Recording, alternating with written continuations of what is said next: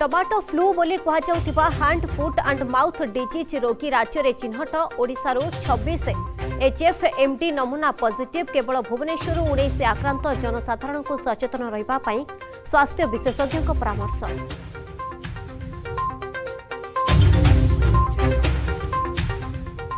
ସଫଳ ହେଲା ପୋଲିସର ଅପରେସନ ହଟ୍ ପର୍ସୁଟ୍ ରାଜଧାନୀରେ ବଡ଼ ଡକାୟତି ଗ୍ୟାଙ୍ଗର ପର୍ଦ୍ଦାଫାଶ। ଚକରା ଗ୍ୟାଙ୍ଗର ସାତ ସଦସ୍ୟ ଗିରଫ ଅସ୍ତ୍ର ଧରି ଲୁଟ୍ କରୁଥିଲେ ଦୁର୍ବୃତ୍ତ କିଛି ଦିନ ତଳେ ଚକ୍ରାକୁ ଏନ୍କାଉଣ୍ଟର କରିଥିଲା ପୋଲିସ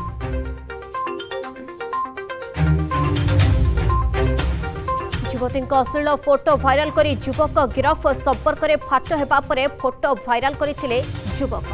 ଛତ୍ରପୁରରୁ ଅଭିଯୁକ୍ତକୁ ଗିରଫ କରିଛି ପୋଲିସ ସୋସିଆଲ ମିଡିଆରୁ ଗଢ଼ି ଉଠିଥିଲା ପ୍ରେମ ସମ୍ପର୍କ।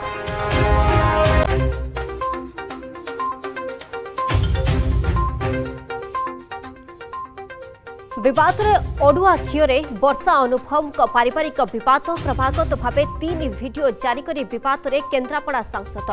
ଆଜି ଏସ୍ଡିଜିଏମ୍ କୋର୍ଟରେ ହେଲେ ହାଜର।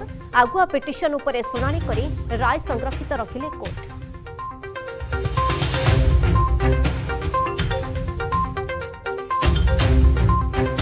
ମାରିଛି ପରିମଳ ବିପର୍ଯ୍ୟୟ ପରିଚାଳନା ଭୁବନେଶ୍ୱରରେ ନଅଶହ ବୟାନବେଟି ଇ ଟଏଲେଟ୍ ସ୍ଥାପନ ହୋଇଥିବା ବେଳେ ଅଧାରୁ ଅଧିକ ଅଞ୍ଚଳ ପୁରସ୍କାର ପାଇଁ କାଗଜ କଲମ ଚଷୁଛନ୍ତି ବିଏମ୍ସି ଅଧିକାରୀ।